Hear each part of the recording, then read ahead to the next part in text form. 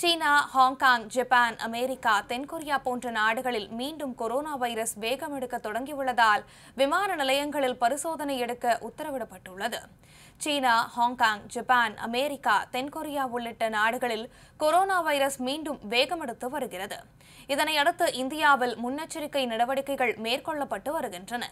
இந்தியாவில் கொரோனா பரவலை தடுப்பதற்கு மேற்கொள்ளப்பட வேண்டிய முன்னெச்சரிக்கை நடவடிக்கைகள் குறித்தும் அறிவுறுத்தப்பட்டுள்ளது. கொரோனா வைரஸின் உருமாறிய வகையான பிஎஃப் செவன் ஒமிக்ரான் வைரஸ் பரவலை மேற்கோள் காட்டி மாநில அரசுகளுக்கு மத்திய அரசு அறிவுறுத்தல்களை வழங்கியிருக்கிறது. இதற்கிடையே பி எஃப் செவன் ஒமிக்ரான் இந்தியாவிலும் கண்டறியப்பட்டுள்ளது.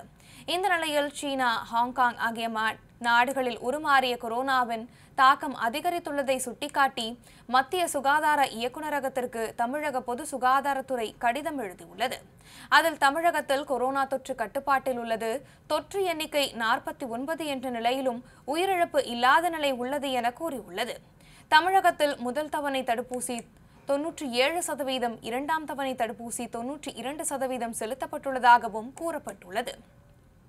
மேலும் சீனா ஹாங்காங் ஆகிய நாடுகளிலிருந்து தமிழகம் வரும் பயணிகளுக்கு கட்டாய பரிசோதனை மேற்கொள்ள மத்திய அரசு வழிகாட்டு நெறிமுறைகளை வெளியிட வேண்டும் என்றும் கடிதத்தில் வலியுறுத்தப்பட்டுள்ளது.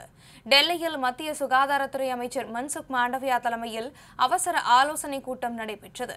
இதில் சுகாதாரத்துறை செயலாளர்கள் இந்திய மருத்துவ ஆராய்ச்சிக் கழகத்தின் தலைவர் ராஜுபல் உள்ளிட்டோர் பங்கேற்றனர். இந்த கூட்டத்தின் முடிவில் கொரோனா பரிசோதனைகளை அதிகரிக்க உத்தரவிடப்பட்டது.